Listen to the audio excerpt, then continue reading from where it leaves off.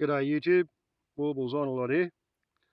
What I'm showing you are the two correct answers in what purports to be a very simplified engineering flowchart wherein if something is supposed to move and it does not move, you take to it with WD-40 and you lubricate it.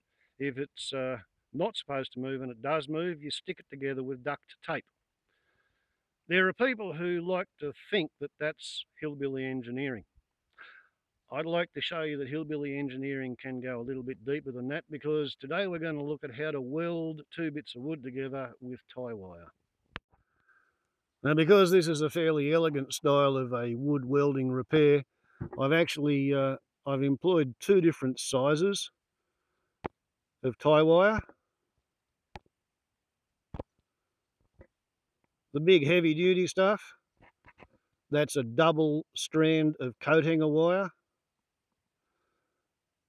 The vertical serving across the splice is tie wire from the hardware shop. Then we have another double strand of coat hanger wire at the butt joint at the end of the splice.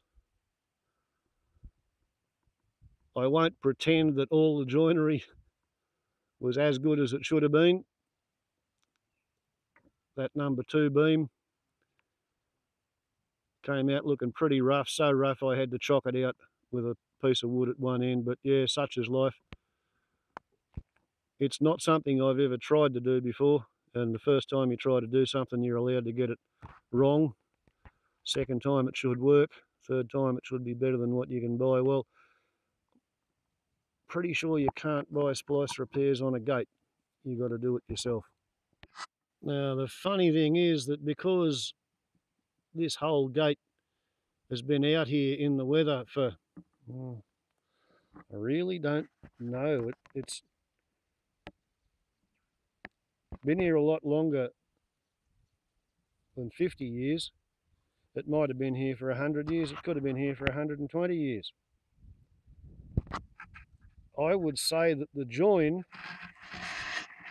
even with the horrible joinery, is going to be likely to be stronger than the original wood. So it's an effective repair.